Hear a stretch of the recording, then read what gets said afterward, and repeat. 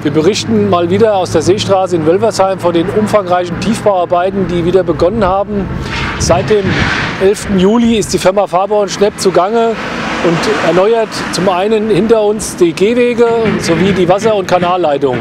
Wir stehen hier an der Einmündung am Heiligenstock Wetzlarer Straße, die momentan gesperrt ist. Die Umleitung erfolgt über die Gießener Straße. Diese Sperrung wird voraussichtlich dauern bis Mitte September. Der Verkehr wird in diesem Teilbereich über eingeengte Fahrstreifen geführt, sodass Begegnungsverkehr möglich ist. Die Einmündungen in die Friedensstraße von der Seestraße aus sind ebenfalls beide gesperrt. Die vorhandene Fußgängeranlage ist außer Betrieb. Eine Ersatzfußgängeranlage wurde eingerichtet Höhe der Bushaltestelle im Hintergrund. Ab der Einmündung Friedensstraße wird der Verkehr mittels Ampelregelung einseitig geführt. Aus der Sicht des motorisierten Verkehrsteilnehmers stellt sich das Ganze wie folgt dar. Wir haben hier die Fahrstreifenverengung, Höhe Einmündung am Heiligenstock. Begegnungsverkehr ist hier möglich entlang der Tankstelle. Die Einfahrten der Tankstelle sind beide frei, sodass die Tankstelle angefahren werden kann. Und die Zufahrt über den Wetzlarer Straße am Heiligenstock erfolgt hier vorne über die Einmündung Gießener Straße.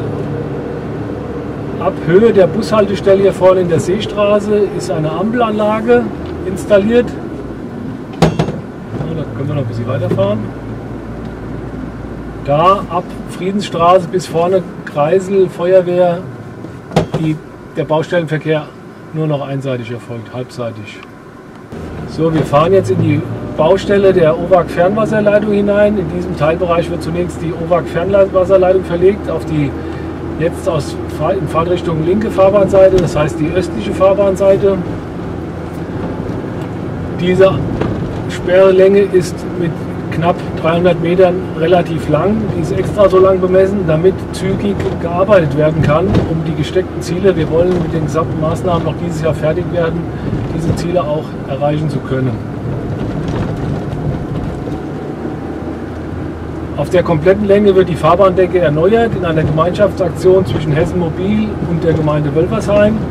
Darüber hinaus, wie gesagt, die Fernwasserleitung der OWAG verlegt sowie Kanalwasserleitungen der Gemeinde erneuert und eben eine Gehwegsanierung vorgenommen auf der westlichen Fahrbahnseite.